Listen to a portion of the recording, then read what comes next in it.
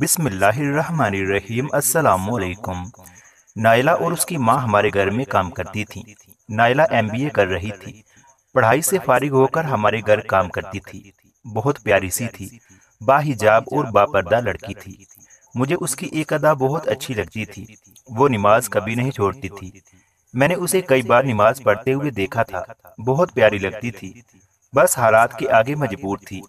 ہمارا بہت بڑا بزنس ہے۔ اللہ نے بہت دولت دی ہے۔ بابا بہت بڑے بزنس مین ہیں۔ لاکھوں نہیں بلکہ کروڑوں کی جائیداد کے مالک ہیں۔ نائلہ کے بابا نہیں تھے، صرف ماں بیٹی تھی۔ اور ان کا کوئی نہیں تھا۔ نائلہ کو پڑھنے کا بہت شوق تھا۔ اس لیے ماں نے گھروں میں کام کر کے نائلہ کو اچھی تعلیم دلوائی تھی۔ اب تعلیم کے اخراجات زیادہ تھے۔ وہ برداشت نہیں کر پا رہی تھی۔ پہلے تو نائلہ نے ٹیوشن سینٹر بنایا۔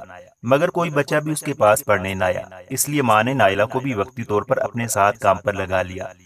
نائلہ کا خواب تھا کہ پڑھائی مکمل کرنے کے بعد کوئی اچھی سی جاب کرے گی۔ پہلے صرف نائلہ کی ماں ہی ہمارے گھر کام کرتی تھی، اب نائلہ بھی ساتھ آتی تھی۔ میں نے کبھی اس پر دھیان نہیں دیا تھا، وہ میرے کمرے میں کھانا چائے سب کچھ پہنچاتی تھی۔ میرے جوتے بھی پالش کرتی تھی، میں منع بھی کرتا تھا، لیکن وہ کہتی تھی صاحب جی کچھ نہیں ہوتا۔ کبھی کبھی میں اس کو تھوڑے پیسے بھی دے دیا کرتا تھا۔ ایک دن امی سے کہہ رہی تھی، باجی میں نے کالج کی فیس دینی ہے، مجھے اس مہینے کی تنخواہ ایڈوانس دے دینا۔ امی نے اسے تنخواہ دے دی تو بہت خوش ہوئی۔ میں سب دیکھ رہا تھا، میں نے آواز دی، نائلہ بات سنو۔ وہ میرے پاس آئی اور بولی جی صاحب جی۔ میں نے اسے پانچ ہزار روپے دیے۔ نائلہ، یہ لو اپنے کالج کی فیس، تنخواہ والے پیسے اپنے پاس ہی رکھنا۔ پہلے تو اس نے انکار کیا، لیکن پھر میرے اصرار کرنے پر اس نے پیسے لے لیے۔ وہ ہلکا سا مسکرائی اور چلی گئی۔ میں نے کبھی اس کو اس نظر سے دیکھا ہی نہیں تھا۔ سچ بتاؤں تو مجھے اس سے نہ چاہتے ہوئے بھی پیار ہو گیا تھا۔ میں نائلہ کو اپنی ہم سفر بنانا چاہتا تھا، مگر یہ سوچ کر پیچھے ہٹ جاتا کہ میرے والدین کبھی بھی اس کو اپنی بہو نہیں بنائیں گے۔ میرے ابو کا اتنا بڑا بزنس ہے اور یہ ایک نوکرانی۔ کوئی جوڑ نہیں تھا، بس یہی سوچ کر میں چپ ہو جاتا۔ پھر ایک دن میرے بابا نے اپنے ایک دوست کی بیٹی کے ساتھ میری منگنی کر دی۔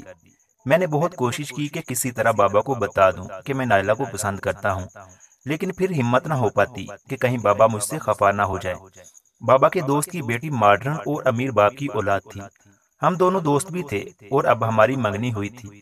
سائرہ میری منگیتر تھی، وہ اپنے پرانے کپڑے نائلہ کو دے دیتی تھی۔ وہ غربت کی ماری بھی مسکرا کر لے لیتی۔ بچا ہوا کھانا وہ اپنے گھر بھی لے جاتی تھی۔ میں کبھی میوزک سن رہا ہوتا تو مجھے کہنے لگتی صاحب جی آپ نماز پڑھا کرے نا۔ آپ کیوں گانے سنتے ہیں؟ میں مسکرا کر کہتا، نماز پڑھنے کے لیے تم جو ہونا خیر میوزک بند کر کے میں نماز پڑھنے چلا جاتا۔ نائلہ نے ایم بی اے بھی پاس کر لیا، وہ بہت خوش تھی۔ لیکن پھر ایک دن حادثہ کچھ یوں گزرا کہ نائلہ کی امی کو ہارٹ اٹیک ہوا اور وہ دنیا سے چل بسی۔ نائلہ تنہا رہ گئی، اس کی دنیا اجڑ گئی تھی۔ اب اس کا کوئی نہیں تھا۔ دل کرتا تھا کہ اس کا ہاتھ تھام لوں۔ وہ بہت روئی تھی۔ پھر میں یہ سوچ کر اسے دل سے نکالنے کی کوشش کرنے لگا کہ میرے والدین اسے قبول نہیں کریں گے۔ میں اپنی دنیا میں خوش رہنے لگا تھا۔ وہ ماں کے گزرنے کے بعد ہمارے گھر میں ہی رہنے لگی۔ سارا دن وہ چپ چاپ کام کرتی رہتی۔ میں اس کی طرف دیکھتا بھی نہیں تھا۔ پھر ہمارے گھر میں ایک دن بات ہونے لگی کہ نائلہ غریب ہے، بے سہارا ہے۔ اس کی شادی ساتھ والے گھر میں ایک لڑکے سے کرا دیں گی میں نے سنا تو اگنور کر دیا۔ پھر اچانک میری ملاقات اس لڑکے سے ہوئی، جس سے نائلہ کی شادی ہو رہی تھی۔ وہ لڑکا ان پڑھ اور جاہل تھا۔ خاندان میں اس کا کردار بھی اتنا اچھا نہ تھا۔ میں خاموش ہو گیا۔ میں کمرے میں بیٹھا ہوا تھا کہ نائلہ میرے پاس آئی۔ مجھے کھانا دیا اور جانے لگی۔ میں نے اسے آواز دی، وہ رک گئی۔ جی صاحب جی۔ میں اس کے چہرے کی طرف غور سے دیکھنے لگا۔ وہ بہت خوبصورت تھی۔ حجاب کیا ہوا تھا۔ بالکل شہزادی لگ رہی تھی۔ میں نے پیار سے پوچھا، نائلہ، اس لڑکے سے شادی پہ تمہیں کوئی اعتراض تو نہیں ہے؟ میرا اتنا کہنا تھا کہ وہ مسکرانے لگی۔ پھر کچھ آنسو اس کے پیارے سے رخسار پر گرنے لگے۔ آنکھیں سرخ ہو گئی اما کہتی تھی، میری بیٹی کو کوئی شہزادہ لینے آئے گا۔ لیکن امی بس خواب دیکھتی تھی۔ زندگی بہت عجیب ہے۔ نہ چاہتے ہوئے سب کچھ چھین لیتی ہے۔ پھر درد دیتی ہے اور رونے بھی نہیں دیتی۔ مغرب کی نماز کا وقت ہو گیا ہے۔ صاحب جی میں نماز پڑھ لوں۔ اتنا کہہ کر وہ چلی گئی۔ مجھے عجیب سی بے چینی ہونے لگی۔ اتنی خوبصورت، پڑھی لکھی، باپردہ، سمجھدار لڑکی۔ صرف اس لیے کسی جاہل کے ساتھ بیاہی جا رہی ہے کہ وہ غریب ہے۔ نہ جانے کیوں میرا دل اس کے لیے پھر سے دھڑکنے لگا۔ عجیب سا احساس ہونے لگا۔ کچھ دن ایسے ہی گزر گئے۔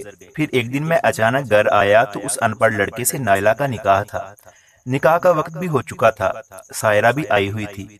میں سائرہ کے ساتھ باتیں کر رہا تھا کہ میرا دل تڑپنے لگا۔ بار بار نائلہ کا چہرہ میرے سامنے آنے لگا۔ وہ پیاری سی لڑکی بلا کیوں قربان کی جائے؟ مجھ سے برداشت نہیں ہو رہا تھا کہ وہ کسی اور کی ہو جائے۔ میرا دل تڑپنے لگا۔ وہ قبول کہنے ہی لگی تھی کہ میں نے کچھ سوچے سمجھے بنا نائلہ کا ہاتھ تھام لیا۔ سب میری طرف دیکھنے لگے۔ میں نے نائلہ کے سامنے بیٹھ کر کہا، نائلہ تم پڑھی لکھی ہو، سمجھدار ہو باہیا ہو۔ میں نہیں چاہتا کہ تم جہنم میں زندگی گزارو۔ اللہ کو حاضر ناظر جان کر کہتا ہوں کہ میں تم سے نکاح کرنا چاہتا ہوں۔ سب میری طرف حیرانگی سے دیکھنے لگے۔ میرے امی ابو اور نائلہ حیران تھی اس کی آنکھوں سے آنسو بہ رہے تھے۔ سائرہ بھی پاس کھڑی تھی۔ وہ کچھ کہنے ہی لگی تھی کہ میں نے اسے چپ کروا دیا۔ سائرہ سے معذرت کر کے میں نے منگنی اسی وقت توڑ دی۔ ایسا ہونے پر سائرہ اسی وقت چپ کر کے اپنے گھر چلی گئی۔ نائلہ کو شاید یقین نہیں ہو رہا تھا۔ میں اپنے والدین کی طرف دیکھ رہا تھا۔ اس سے پہلے کہ میں کچھ کہتا، میرے ابو میری طرف آئے اور مجھے سینے سے لگا کر کہنے لگے، مجھے فخر ہے تم پر۔ میری ماں نے بھی نائلہ کو سینے سے لگا لیا۔ میں آج بہت حیران تھا کہ میں اپنے والدین کے بارے میں ہمیشہ غلط سوچتا رہا، جبکہ میری خوشی کی خاطر میرے والدین نائلہ کو اپنی بہو بنا کر بہت خوش تھے۔ پھر میرے بابا نے میری شادی دھوم دھام سے نائلہ سے کرنے کا فیصلہ کیا۔ نائلہ بھی بہت خوش تھی۔ سائرہ کے والد میرے بابا کے بہت اچھے دوست تھے۔ پہلے تو انہوں نے رشتے کی مخالفت کی، مگر جب میں نے اور میرے والدین نے ان کے گھر جا کر معذرت کی تو وہ بھی راضی ہو گئے اور سائرہ کا رشتہ ایک اور اچھی جگہ پر طے کر دیا۔ کچھ دن بعد میری شادی تھی۔ سائرہ اور اس کے گھر والوں نے بھی شرکت کی۔ نائلہ کا میری زندگی میں آنا تھا کہ میری زندگی بدل گئی۔ میوزک چھوٹ گیا اور میں نمازی بن گیا۔ میں نائلہ کا اور نائلہ میری ہو گئی۔ سب نے مجھے پاگل کہا تھا، لیکن میں نے نائلہ کا ہاتھ نہیں چھوڑا۔ سب کچھ اچانک ہوا تھا، جیسے کوئی موجزہ ہو۔ خدا کا لکھا تھا، وہ ہو کر ہی رہنا تھا۔ نائلہ کے بنا اب تو میں ایک سانس بھی نہیں لیتا۔ اس لیے اب میں اس کو جوتے پالش نہیں کرنے دیتا۔ اسے سینے سے لگا کر رکھتا ہوں۔ وہ میرا بہت سارا خیال رکھتی ہے۔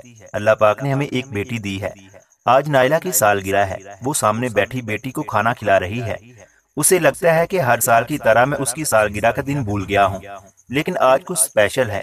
میں عمرے کے ٹکٹ لے کر آیا ہوں۔ نائلہ میری زندگی ہے۔ کبھی خواب میں بھی نہیں سوچا تھا کہ نائلہ میری ہم سفر بن جائے گی اور میری زندگی جنت ہو جائے گی۔ اللہ تعالیٰ کا ہر فیصلہ ہمارے لیے بہتر ہوتا ہے۔ مزید اس طرح کی اچھی اچھی اور سبق اموز کہانیاں سننے کے لیے ہمارے یوٹیوب چینل علمی روم کو سبسکرائب لازمی کریں۔ ملتے ہیں اگلی ویڈیو میں۔